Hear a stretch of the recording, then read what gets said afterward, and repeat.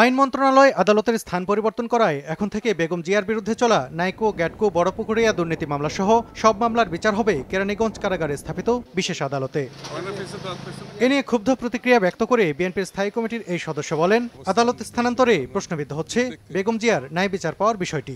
Court, কোর্টে থাকবে সারা জীবন।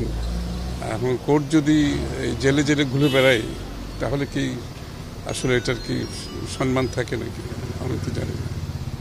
এটা থাকে কি এটা এটা এখানে কি ন্যায় বিচারের প্রত্যাশা আর কতটুকু বা থাকে? আদালত পরিবর্তন নিয়ে বিভ্রান্তি ছড়ানোর কিছু নেই বলে মন্তব্য করে আওয়ামী লীগের ভারপ্রাপ্ত সাধারণ সম্পাদক মাহবুবুল আলম হানিম বলেন বিএনপি আদালতের প্রতি শ্রদ্ধাশীল নয়। সোমবার সন্ধ্যায় রাজধানীতে এক অনুষ্ঠানে তিনি এ মন্তব্য করেন। বিএনপি আদালতের প্রতি কখনোই শ্রদ্ধাশীল ছিল না কখনো আইনের বিচারের প্রতি শ্রদ্ধাশীল ছিল না। অর্থাৎ বিএনপির পক্ষে এই ধরনের কথা বলা এটা খুব যৌক্তিক। বেগম খালেদার তার সার্বিক অবস্থা বিবেচনা করে মামলার দ্রুত সম্পাদন করার জন্যই হয়তো বিজ্ঞ আদালত যেখানে যোগ্য মনে করেছেন যেখানে যথোপযুক্ত মনে করেছেন সেখানে আদালতটাকে স্থানান্তর করেছেন। এটা নিয়ে বিভ্রান্তি করার কিছু নেই। সরকার ন্যায় বিচার প্রতিষ্ঠায় কাজ করে যাচ্ছে বলেও জানান হানিফ। কখনো আইনের বিচারের প্রতি সালাউদ্দিন সুমন সময় সংবাদ ঢাকা।